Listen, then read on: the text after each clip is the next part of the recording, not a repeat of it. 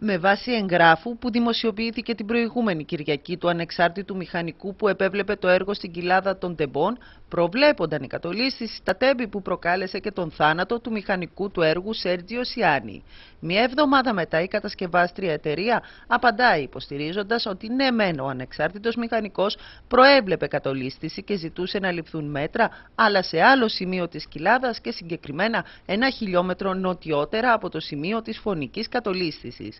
Η αυτοκινητόδρομος Αιγαίο μάλιστα τονίζει ότι για το σημείο που υποδείχτηκε λήφθησαν αμέσως τα απαραίτητα μέτρα υπόψη εμπειρογνωμόνων ελβετικής εταιρείας.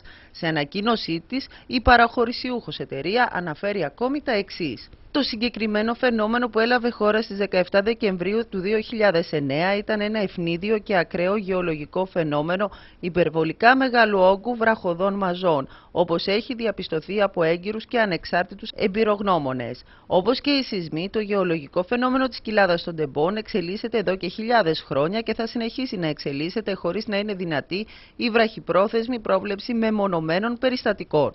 Η πιθανότητα να συμβεί ατύχημα από βραχόπτωση εντός της κοιλάδας των τεμπών είναι σήμερα δεκάδες φορές χαμηλότερη από το να συμβεί ένα κοινό τροχαίο ατύχημα, αλλά είναι δυστυχώς υπαρκτή.